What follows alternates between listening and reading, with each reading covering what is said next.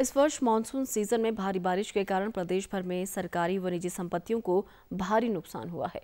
आपदा की इस घड़ी में प्रभावित व्यक्तियों को समय पर राहत पहुंचाई जा सके, इसके लिए राजस्व विभाग द्वारा आरएमएस सिस्टम विकसित किया गया है।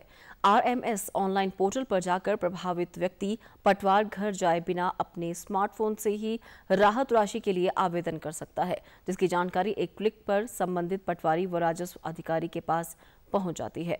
पटवारी पीड़ित व्यक्ति द्वारा पोर्टल पर दी गई जानकारी के आधार पर मौके के जायजा लेकर रिपोर्ट तैयार करता है। उसी के आधार पर प्रभावित व्यक्ति को अंतरिम राहत के कुल मुआवजे की 30 प्रतिशत राशि जारी कर दी जाती है।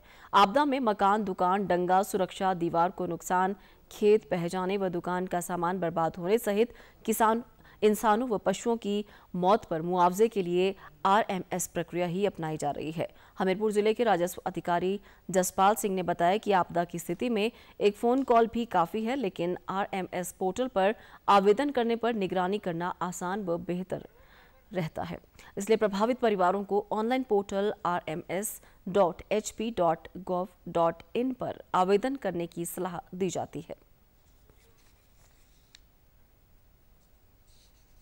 हिमाचल प्रदेश सरकार के आरएमएस पोर्टल पर जो है, वो विज़िट करके अपने नुकसान की जो सूचना है, वो उस पर दे सकता है और वो सीधी सूचना जो है, वो हमारे पटवारी के जो लॉगिन है, उसमें आ जाती है और सेम डे को जो है, वो पटवारी उसको सूचना जो है, वो अपने तहसीलदार के माध्यम, तहसीलदार को ऑनलाइन माध्यम से जो है, वो दे देता है और वहीं से उसको जो है, वो राहत राशि या उसकी मुआवजे की जो राशि है, वो मिलना शुरू हो जाती है।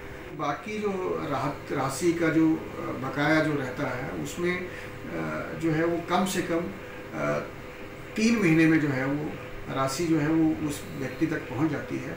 पर तीन महीने एक बड़ा मैं जो मैनुअल है हमारा, उसमें जो प्रावधान है, उसकी बात कर रहा हूँ। लेकिन हमारा जो आरएमएस सिस्टम अब जो डिवेल्प हुआ है, उसके माध्यम से तो हम एक विद इन वन मंथ जो है वो बची हुई राशि को जो है वो पीड़ित व्यक्ति तक पहुँचा देते हैं।